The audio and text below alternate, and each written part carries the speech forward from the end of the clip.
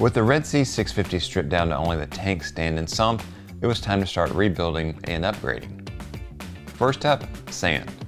The sand I use in the Red Sea Reboot is Two Little Fishies Outstanding Selection Special Grade Coarse Reef Sand. Now don't let the coarse in the product name throw you. The grain size is between 1 to 3 millimeters, with the majority being in the 2.5 millimeter range. That's bigger than sugar sand, which moves around when you do so much as glance at it, yet not too large to be dangerous for sand-dwelling fish like leopard wrasses and jawfish. The special grade coarse reef sand comes in live and dry varieties with the 15 pound bag being the live offering and the 44 pound bag being the dry sand offering. Dry sands are often very dirty, so before I committed to the dry variety, the Outstanding Selection Special Grade Coarse Sand, I gave it the rinse test. Add some sand to a 5 gallon bucket, add tap water, and stir.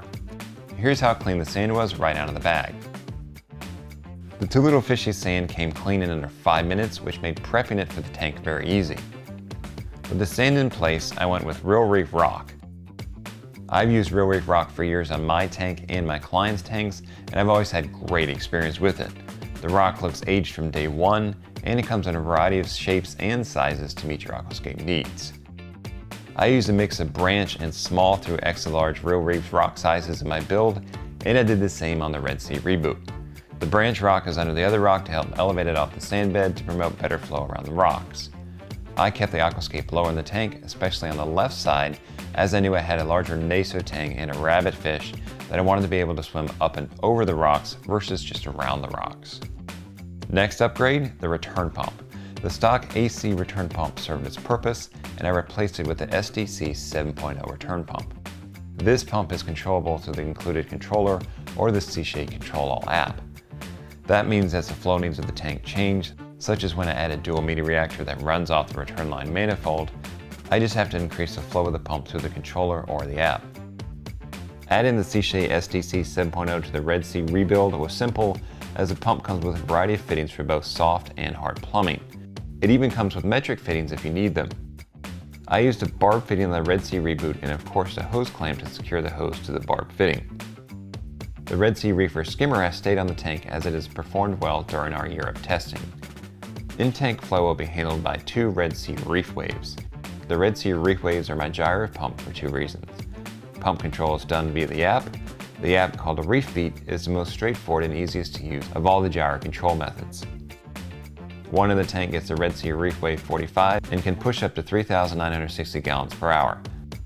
The other end gets a ReefWave 25, which pushes 1,960 gallons per hour. Why the two pumps on the Red Sea Reboot?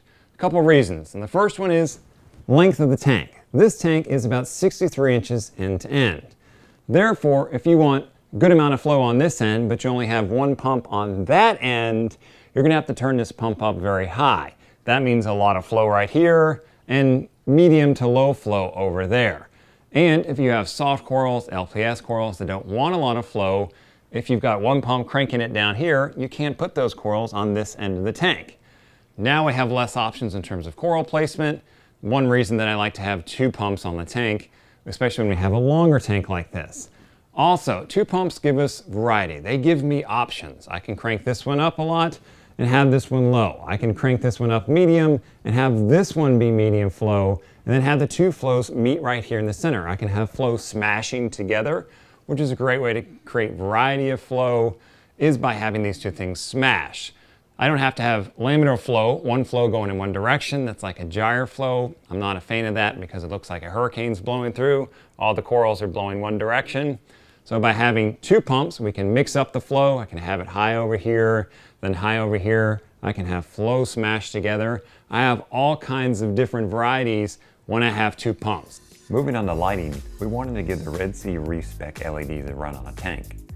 Red Sea lights on a Red Sea tank, that made sense to us. Making the switch to the Reef Spec LED was easy. We added a bracket for the Reef Spec, taking care to route the power cords through the channels on the existing Red Sea fixture. These channels make hiding the cord easy and keep a clean look above the tank. The final upgrade for the Red Sea Reboot, at least for the moment, is to automate this tank. See, this tank needs to mostly run itself. That means automatic water changes, topping itself off, and I want eyes on this tank at all times.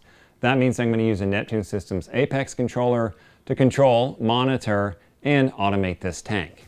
Automatic water changes will be done to a Neptune Systems DOS and auto top off is handled to the Neptune Systems ATK.